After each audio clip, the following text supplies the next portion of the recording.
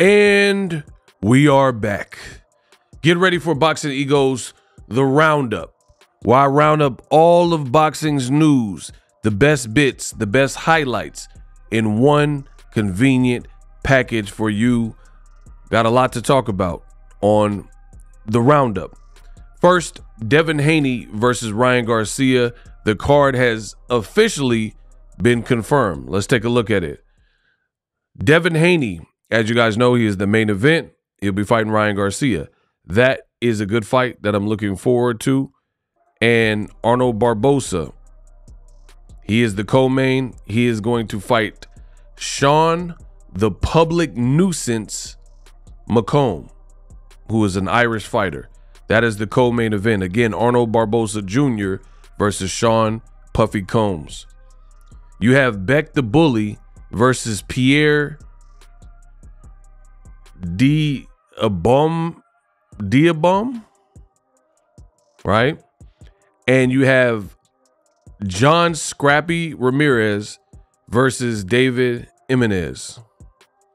Finally, to round off the card, Charles Conwell, which is a new signee to Golden Boy, versus Nathaniel Gallimore.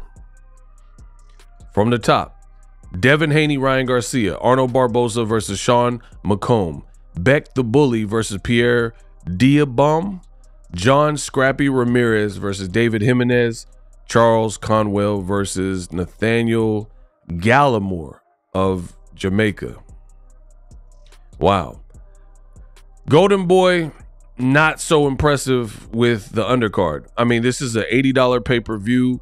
I think they could have done better. Like, put, there's a lot of people they could have put on it, to be honest.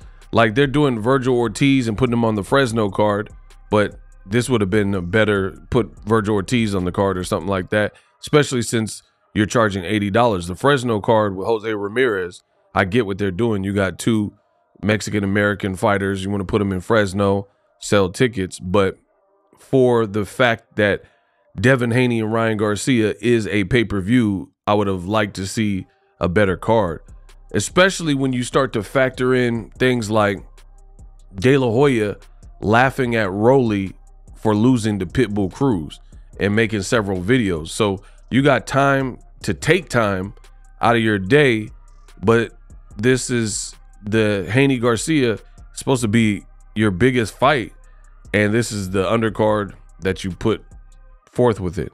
Let me know what you guys think of the undercard.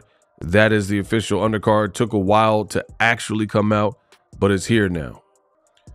In other boxing news, after a sensational knockout victory to become champion, Isaac Pitbull Cruz sit sitting on top of the world, top of the world, top top top of the world. Shout out to Brandy Norwood. Pitbull Cruz on top of the world. One person who is not so impressed is Ryan Garcia.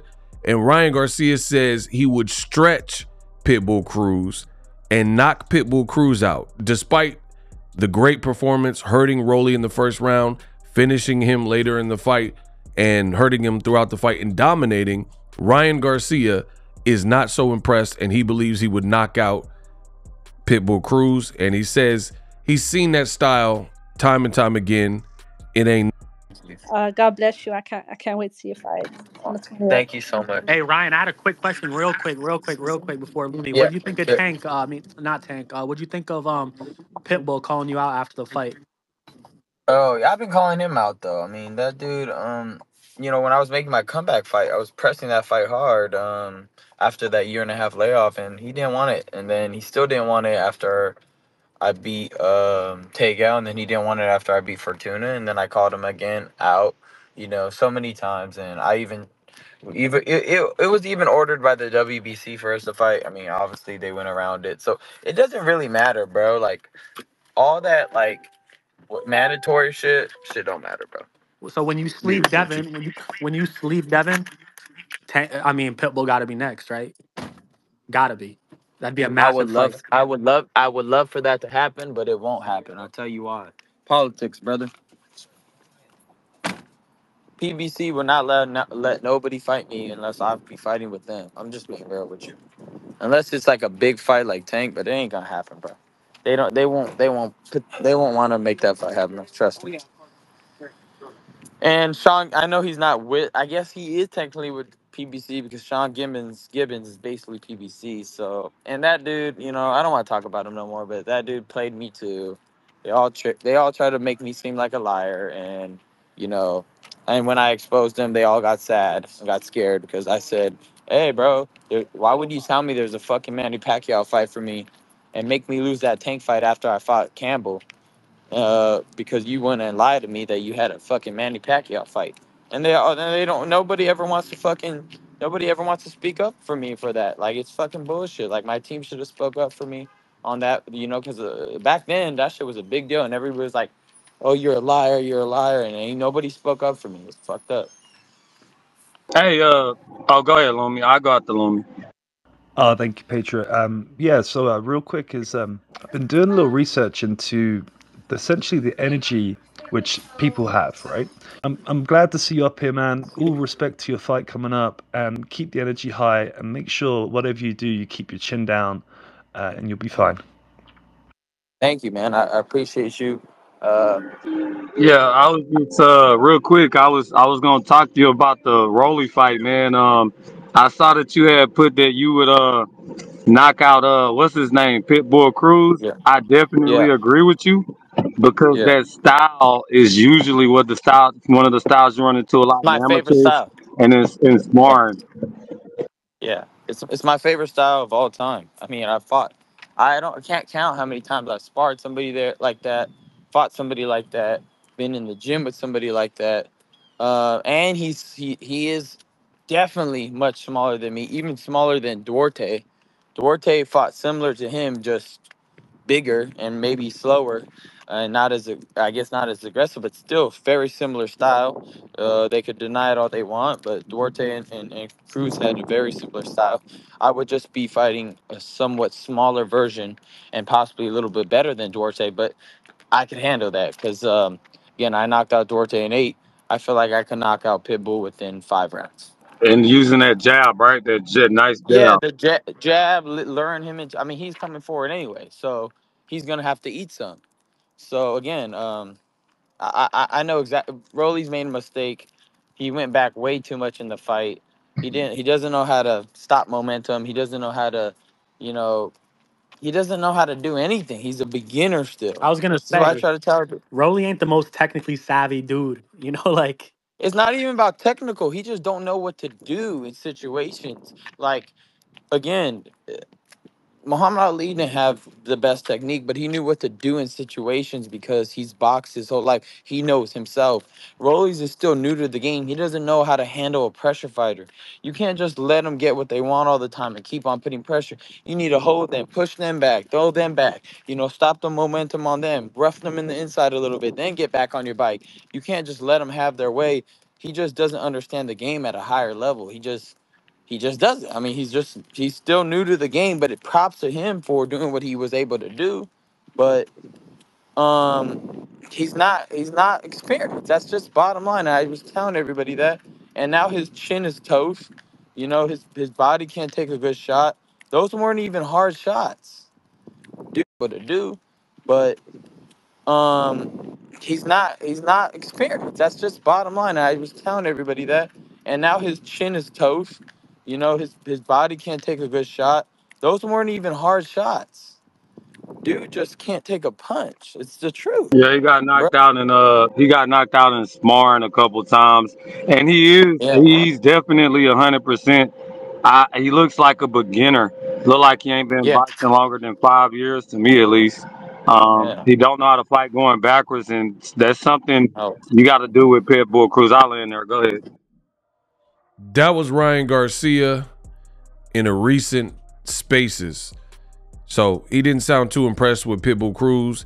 He did bring up size, but you know the good thing about a guy like Pitbull Cruz, what people fail to realize is that Pitbull Cruz men stop puberty 21 to 25 somewhere in that range right so pitbull cruz is as tall as he's going to be he's age 25 so likely that's as tall as he's going to get so you have to understand when you're dealing with a fighter who's naturally kind of short per the division they're used to fighting taller people because mostly everybody is taller than them.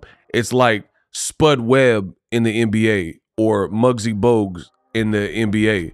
They're used to everyone being taller, and you have to, you know, you have to get your own. You know, same thing with Allen Iverson, AI, one of my favorites, right? He didn't beat people because he was the biggest. He beat people because they couldn't keep up with him, and he was on both sides of the court, and he was fast breaking and crossing over, like you know what I mean. So Pitbull is used to fighting the Ryans. Is Ryan used to fighting someone as dangerous as a Pitbull? You know, that's shorter than him. I mean, the only experience even close is a shorter Gervonta Davis who was considerably smaller, but he got knocked out in that fight. So I don't know. The other thing he said is Rolly was getting hit with shots that weren't even hard. Totally disagree with that. Pitbull throws with bad intentions every time, and he does carry power. Who knows?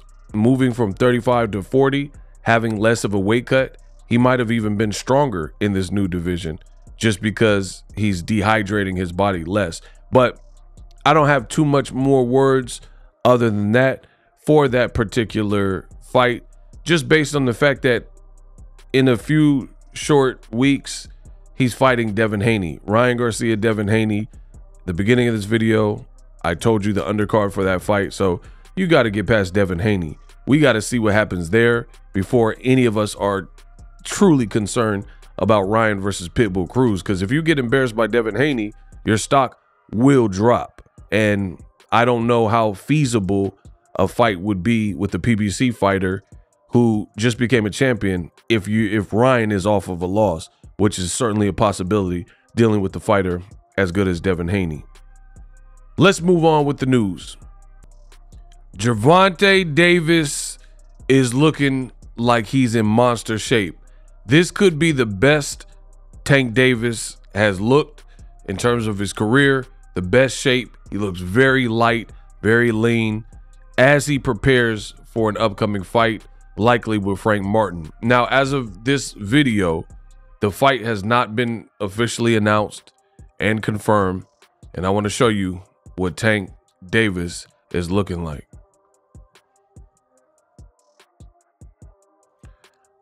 You see right there, Gervonta Davis is already in shape.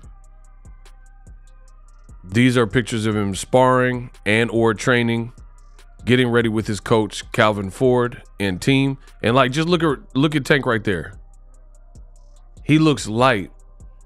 Leonard Ellerbe has always been on record stating that Gervonta Davis, if he wanted to, he can make lighter divisions, like 130. Judging by this picture, I would say that is true. I would definitely say he could make the lighter division like a 130 if he wanted, but there's better opportunities for him. Again, you see Tank Davis in shape. Very, very good to see. Calvin Ford all smiles in the background. Tank Davis looks like he's working himself to the point of possibly exhaustion. And ego weight watchers. Even though this is the roundup, it's also an ego Weight Watchers, aka ill, where I give you a look into the fighter lifestyle before, after, and progress picks, especially when they have an upcoming fight. We're just waiting on that official announcement Tank Davis versus Frank Martin. But you truly love to see it. The shape that Tank's in, how serious he's been dedicated. And I'm going to keep saying this because I see the shapeshifters. I see old media when Tank Davis was looking fluffy, puffy, he was in his off season and his weight did not look like it was being maintained in the same way. Old media, the shapeshifters, they made sure to put that in front of your face because when it's the negative news cycle, they're going to push that regarding oftentimes black fighters, but definitely fighters with PBC and popular PBC fighters like Errol Spence or if Wilder has some kind of problem or loses, or guys like Gervonta Davis the face of boxing. Again, when Tank off-season weight wasn't being managed the same way, this is all you've seen. Talk, talk, talk, chatter, chatter, chatter, making videos, posting pictures, content. Oh, Tank's gonna be the next Adrian Broner. He's undisciplined. He's gonna lose, yada, yada, yada. Now he went in a completely different direction. he put the city of Baltimore on his back. He's taken a dangerous foe in Frank Martin. Now those same people are finding new ways to hate. You hate to see it. Now, finally, on the roundup, it is official. Sebastian Fundora has been suspended by the Nevada State Athletic Commission after his fight with Tim Tszyu. So you guys see that on the screen. NSAC has officially suspended Sebastian Fundora. He received a broken nose. I did a separate video talking more so about that, what that means. Check that on the channel. And that was part of the ego injury report series. But for those who missed that video, you get it right now. Sebastian Fundora is suspended provisionally until September 27th by the Nevada State Athletic Commission. He can't fight, he cannot spar, and he has to see an ENT specialist to determine the corrective action, surgery, if surgery is needed, how long it's going to take to recovery. And anytime you're dealing with an injury, not everyone's Wolverine. Some people take longer to heal. Some people heal very quickly, like Logan, like, hey, bub, Berserker, rah, you know, they got that Wolverine healing ability, but it's on a case by case basis. So at the end of the day, you never truly know. You got to kind of wing it and see what the doctors say and what Sebastian Fundora's team says. What does this mean? Now, Terrence Crawford was hoping to fight the winner of Tim Tszyu or Errol Spence. But now that's up in the air for another reason. Sebastian Fundora suspended. His team said he's not coming back until the back half of this year, like November. Crawford's been out of the ring since the Errol Spence performance July of last year. So what is he going to wait till November? Besides that, there's bigger fights within the PBC circuitry like Errol Spence, like a Tim Tszyu rematch. So those fights make more sense, make more money, you know, even if it requires Fundora to vacate the WBO belt. So we will have to see how everything plays out. Listen, I am one person. Shout out to everybody who sent cash apps, super chats, super thanks, and help build the channel in such a phenomenal way. That enables me to put out more content like this, the roundup, and come up with these original series that no one else in boxing is doing to make it your one-stop shop. I also have my affiliate links in the description. Shout out to everybody in the miraculous ways that you guys support the channel. If you like the roundup, let me know in the comment section. I consolidate and get all the news in one central location. It's kind of like Walmart. Walmart has food, they got diapers, they got pet food, they got clothes, they got home decor, paint, automotive, kitchen gadgets, bathroom accessories. Your one stop shop. Now, I'm a little bit cleaner than Walmart, but the same concept with the Roundup. Sign the contract, big boy. Sign the contract.